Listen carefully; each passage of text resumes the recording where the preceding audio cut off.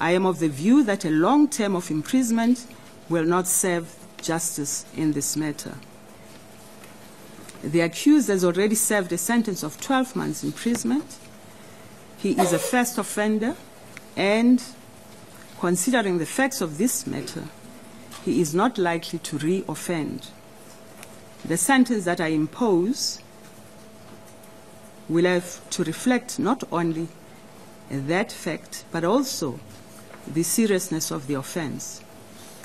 It will, insofar as it is possible, have to be fair to the accused as well as to the deceased family and society at large.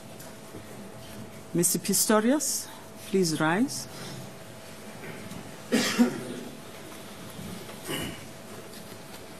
In the result, the sentence that I impose on the accused for the murder dolus eventualis of the deceased, that is Reeva Steenkamp, is six years imprisonment.